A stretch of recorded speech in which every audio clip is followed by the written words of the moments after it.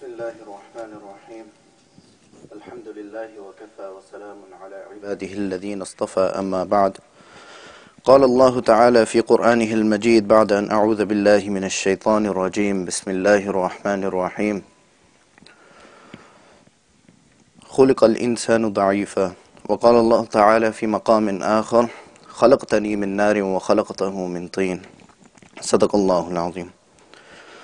It's a great blessing of Allah subhanahu wa ta'ala that He has gathered us in this Tazkiyah workshop where we recognize Allah subhanahu wa ta'ala, where we get to come closer to Allah subhanahu wa ta'ala and we talk about the greatness of Allah subhanahu wa ta'ala.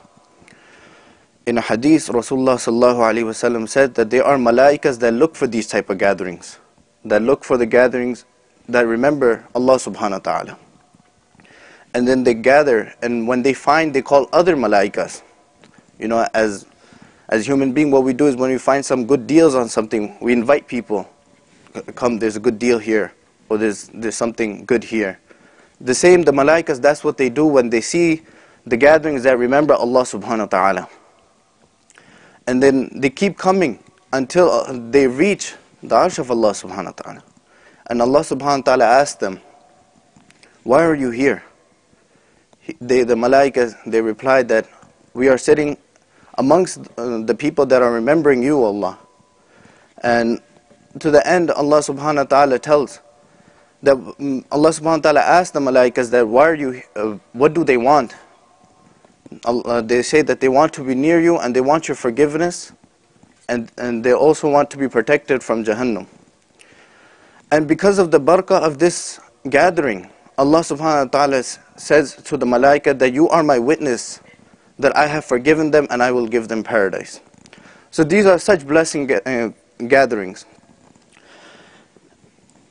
Today my topic is about ujub and about takabbur, pride.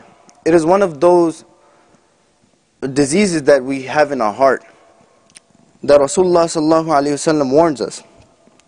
Sallallahu alayhi wasallam says in a hadith, لا يدخل الجنة من كان في قلبه مثقال حبة من خردل من خردل من الكبر من كبر.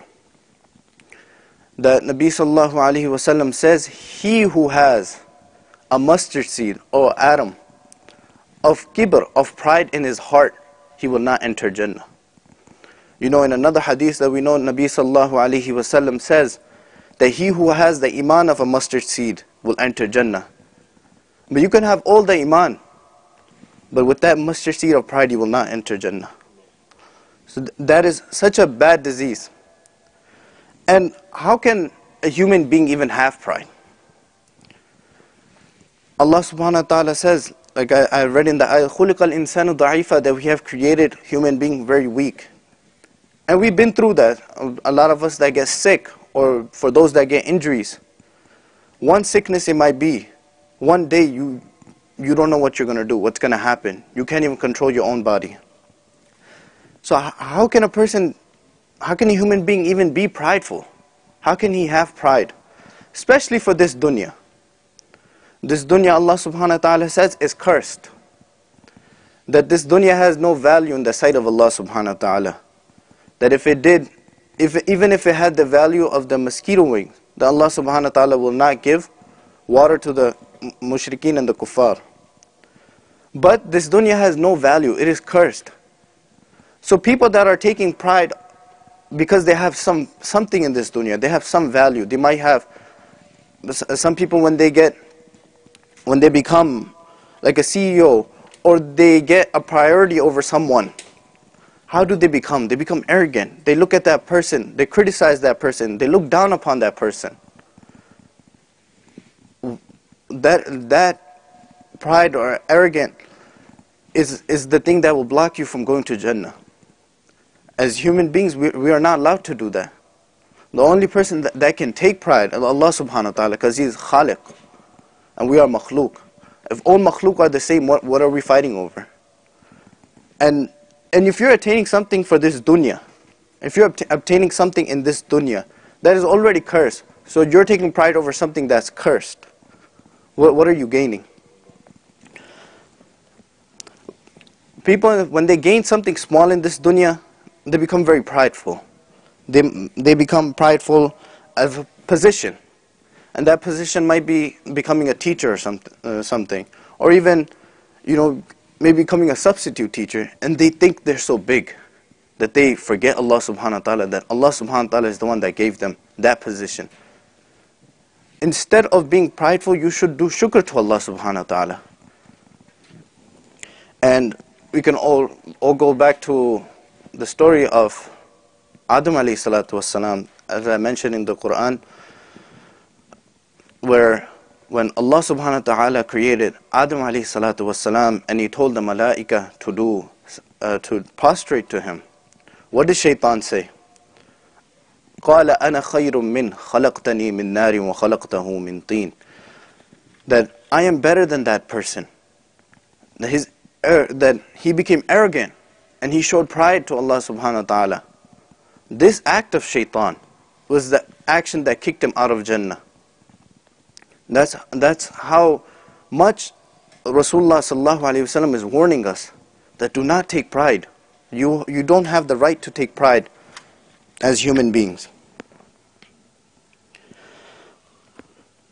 But at the time of Sahaba, some Sahaba asked, Ya Nabi of Allah, when Rasulullah quoted the hadith that he who has a mustard seed of pride in his heart, he will not enter Jannah.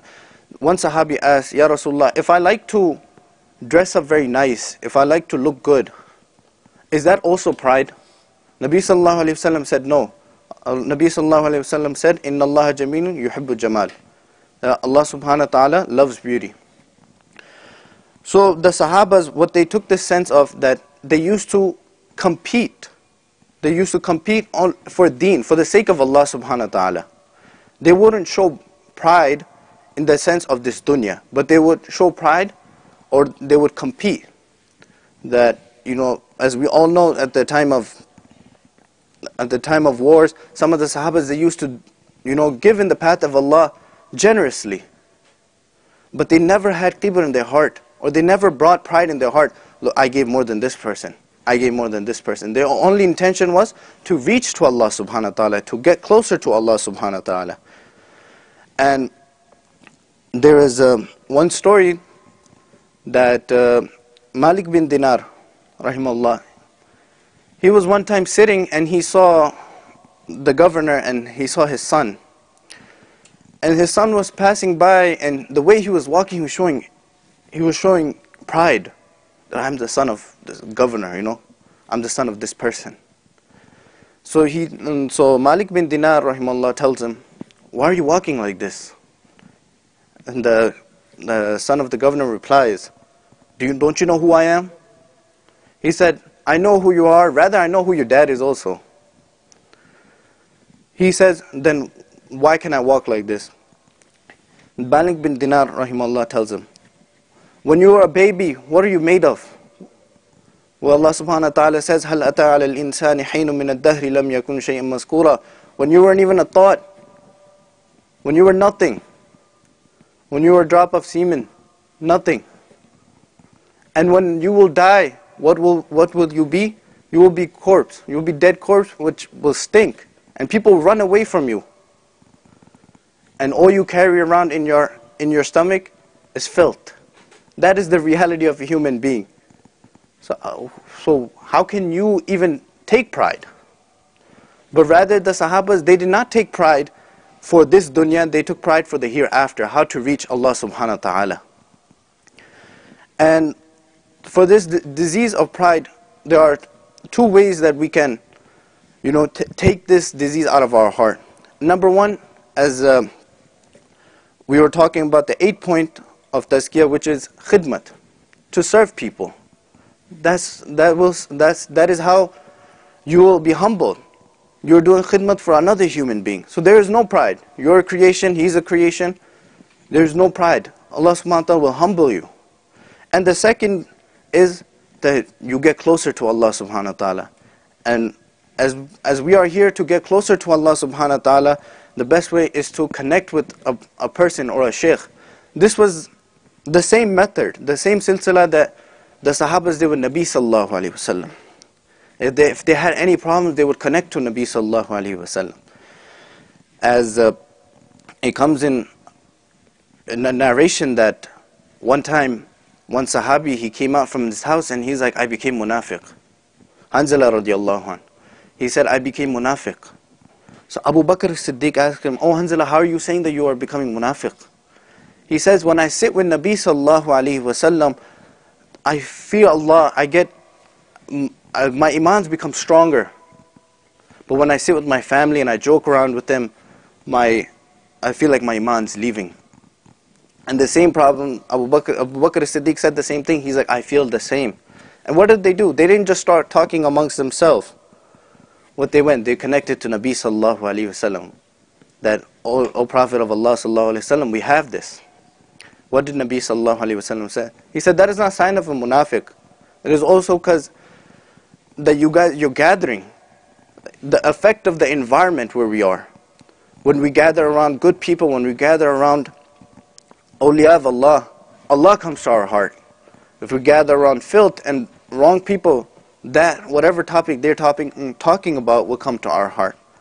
So like that, may Allah give us tawfiq to, you know, gain more from these uh, these groups or mm, these workshops that we're doing to connect to Allah subhanahu wa ta'ala and get connected to our shaykh so he can get us closer to Allah subhanahu wa ta'ala. May Allah give, give all of us tawfiq to act upon whatever has been said. أقول قولي هذا أستغفر الله لي ولكم ولسائر المسلمين فاستغفروا إنه هو الغفور الرحيم